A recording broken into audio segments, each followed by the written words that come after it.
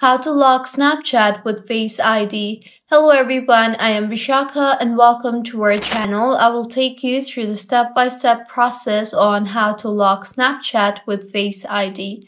Now let's get right into the tutorial. In order to lock Snapchat with Face ID, open the Shortcuts application on your device. Just in case if you do not have the Shortcuts application on your device for some reason, then you can easily download the application from your App Store. Once you have opened the Shortcuts application, tap on the automation option on the bottom center of your screen and then tap on the new automation option. Here you can either tap on the search bar and search for apps or you can also simply scroll through and search for apps and tap on it.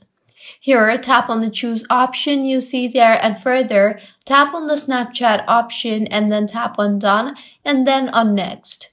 Now, in the interface that you will be led to, tap on the new blank notification and then tap on the add action button and in the search bar search for lock screen and tap on that and then tap on the play button on the bottom right of your screen.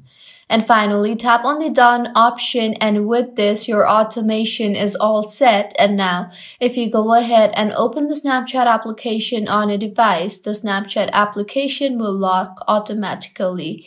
So this is how you can lock Snapchat with Face ID. If you find this tutorial helpful, please make sure to like the video and do subscribe to our channel for more contents like this.